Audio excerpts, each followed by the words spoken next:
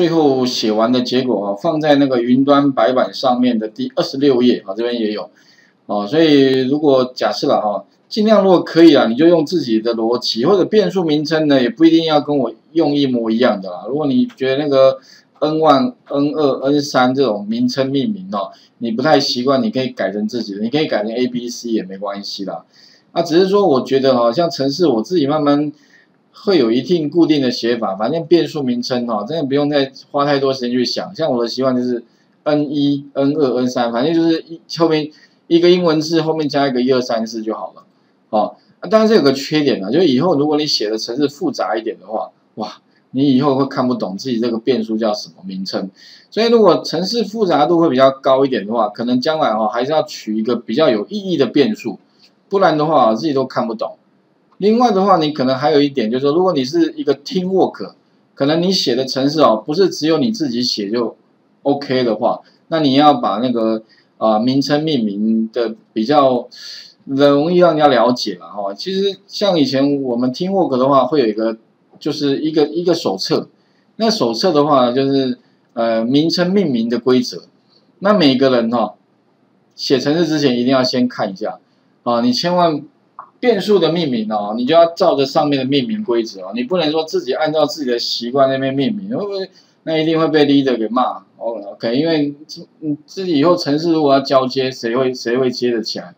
对啊，所以有的时候啊，还是尽可能的哈，还是要有一定的一定的规范。好，OK，好，那再来的话呢，哈啊，这个城市写完之后的话哈，其实有个地方特别注意哦，那个顺序哦，如果我现在。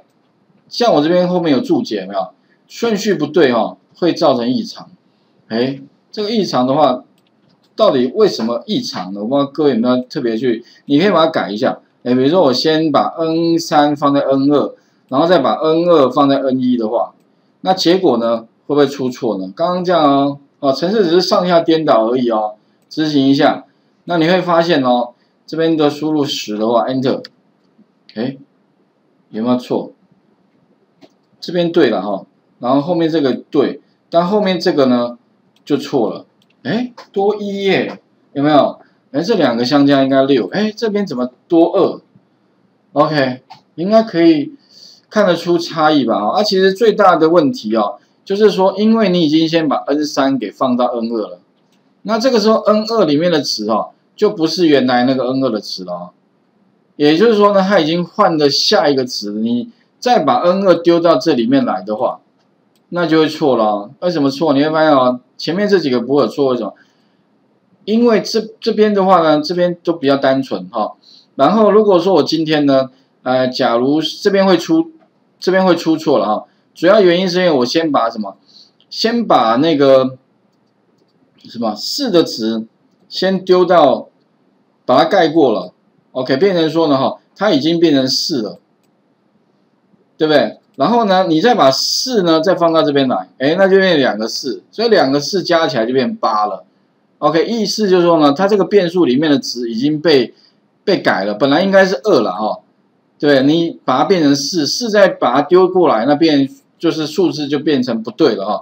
所以特别注意啊，这里面的顺序哦，恐怕不能够啊颠倒，一定要先把 n 二丢过去，再把 n 三盖过 n 二。这个部分呢才不会出错哦。OK，这边可能要特别小心。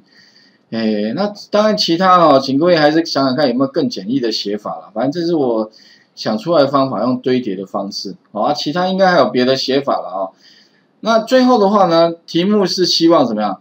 帮我们把它写成所谓的 function。好，这边有个写的啊方，这个 function 的话一样叫 compute 的函式的哈。那其实。另外的话呢，把什么把 number 丢过来，那其实啊写法都一样，所以以后特别注意啊。第一步啊，如果第五类的话，一，请你先把程式写好。第二步的话呢，请你在怎么样第一行的地方哦，其给我固定规则，或按两个 enter 好了，请你在第一行地方打什么 df，然后后面的话一样是 compute，其他都用 compute，然后传一个参数叫做 number。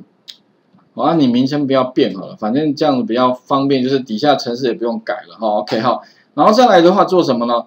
把除了主城市部分哦，呃，除了什么 input 跟 output 把它中间的城市哦，把它移到哪里？移到 df 里面啊，移动，把它拖拉，好，然后按个 tab 键。再来，最重要是呢，把这个结果 return 回来，所以 return 这边打一个 return 哦，常常都忘记 return。return 什么东西呢？而 return 最后的那个我们的结果什么结果？就 s，把 s return 回来，因为全部串在一起，串在一起之后的话，那我们最后的话呢，就不是 print s，而是怎么样？把那个什么呢？把这边哈 compute 这个 number 啊，这个把它 Ctrl C 啊，直接就贴到这边来。意思就是说，把它输入十，十就丢过来，跑十次之后的话呢，最后把这个 s 的字串呢，就帮我传到这边 print 出去。OK，好，来试一下，基本上这样就改完了。所以你会发现啊，你改改的逻辑也都相似，啊，大致上雷同。那最后的话呢，就踹一下，如果 OK 的话，那表示这样应该是没有问题的。我把它输十，Enter，哎，结果 OK。哦，应该没问题。然后再来的话呢，在二十啊，试试看二十，Enter，OK，这样的话就大功告成。那大概第五类哦，就基本上讲完。所以啊，之啊之前我们那个上课的东西啊，论坛里面其实也都有放了哈。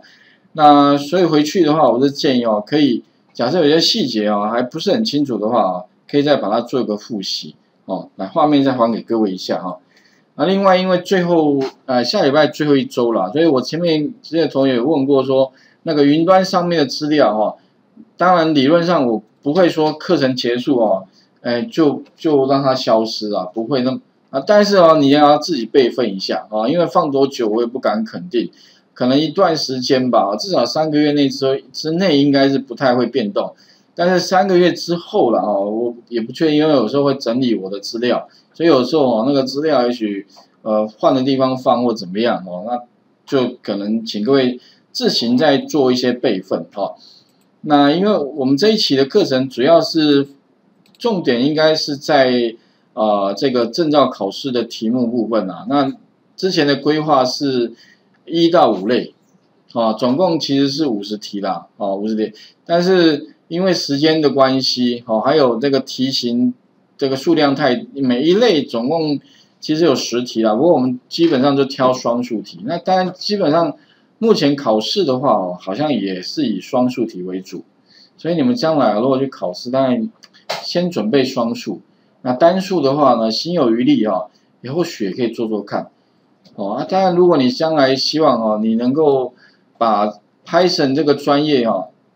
变成是你这个履历上面的一一一个可以拿出来哈的一个亮点的话，我是建议的哈，可以在，那或许可以哈，呃，拿个证照也是一个方向。那如果你真的要把它练熟哦，你就把那总共五十题哈全部练熟哦，我觉得是也是相当不容易的一件事情啊。不过我看起来一到五类算简单。啊，我是觉得比较难的应该是后面啊，所以如果你可以把什么后面那个六到九类哈也都练熟的话，哇，那我想第一个哈你应该会很有信心的，因为至少了哈你都把这练熟了。第二个的话呢哈，哎可以拿到证照的话，哇，那信心就更更像是一层楼了。OK 哦，那当然是一个方向，因为学习啊，我建议最好是哈。你既然你已经学了，你不要学一半，学一半等于感觉其实跟没学差不多，哦，那再来的话呢，哈，可能要想想哦，如何应用这个工具哦，用在你工作上面，OK 哈，好，试一下这部分哦。